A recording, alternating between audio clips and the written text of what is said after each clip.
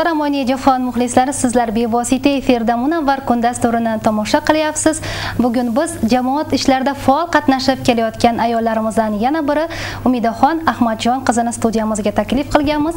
Dasturimizni esa umida opa davom ettiramiz. Yana keling yana shu ayollar mavzusiga qaytaylik. Bugungi kunda e, qizlarimizni ayniqsa qizlarimizni to'qqizinchi sinfgacha o'qitishyaptida ota onalar bunga sizni munosabatingiz qanday?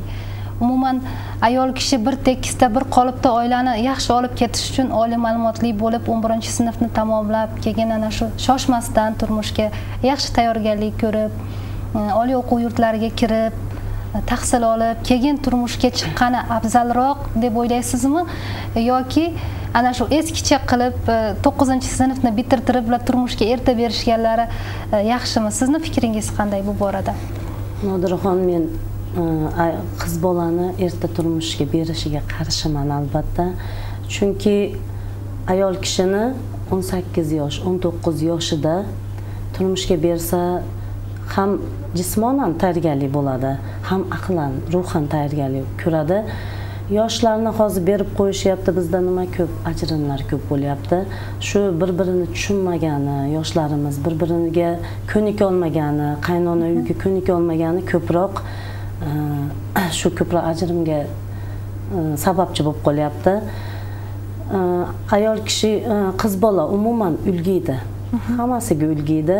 O'qisin nimaga deganda o'qisa boshda har xil kun borda masalan bilib bo'lmaysiz ertaga nima bo'lishingizni o'qib oliy ma'lumotli bo'lsa shu jamoat ishlariga ozgina bo'lsa ham o'zini hissasini qo'shadi. Mana men o'zim o'qimaganimni juda afsus qilaman.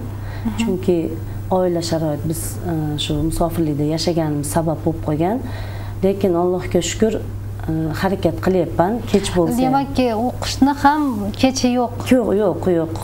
Albatta harakat qilsa bo'lar ekan e, umida opa umuman ana shu mm, she'r yozishda ko'proq nimalarga e'tibor qaratasiz? Va she'rlaringiz qo'shiq ham bo'libdi.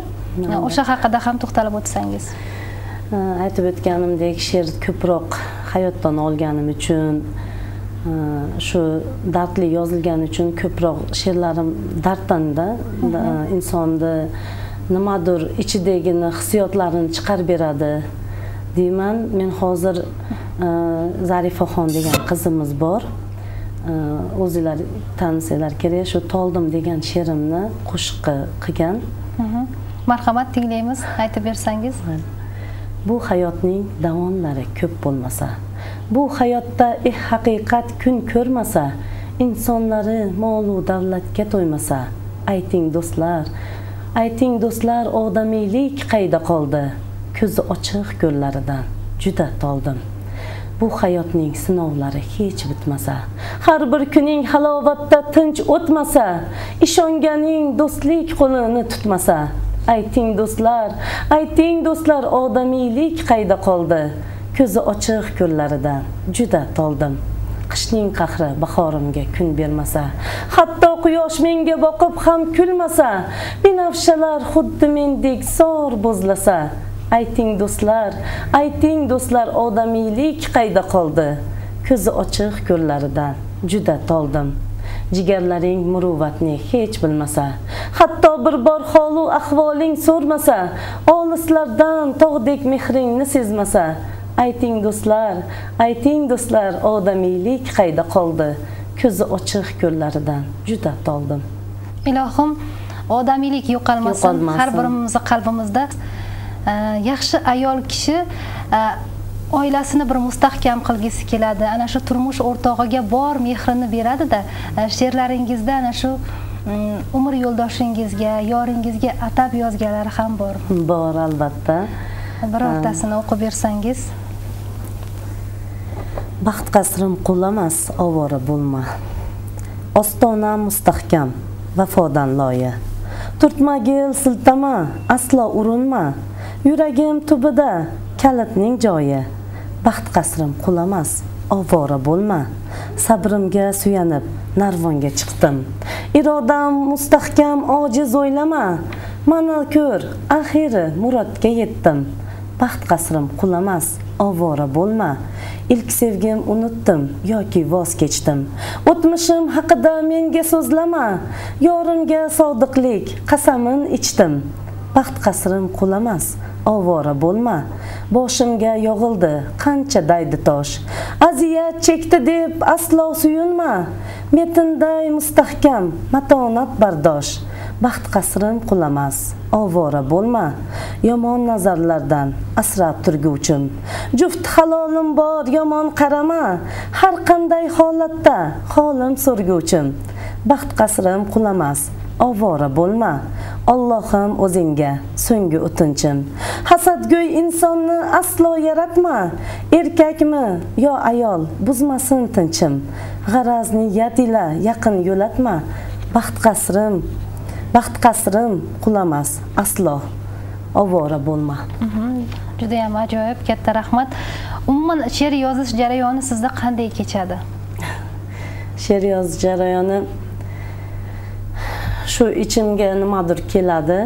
Ichimga nimadir kelib shuni chiqarib yuborgim keladida ko'proq she'r yozishda yig'i bilan ko'z yosh bilan yozaman. Demak ana shu uyda ko'proq siz ko'proq uyda bo'lasiz uy ishlari yumushlari bilan band bo'lasiz. Aytaylik ilhom keldi deylik. Siz ish qilyapsiz. Qanday qilib nima qilasiz? Ish qilayotgan yerimda ilhom kelsa albatta esingizdan chiqib qoladida. Keyin o'ylagan narsangizni topish qiyinroq bo'lib qoladi.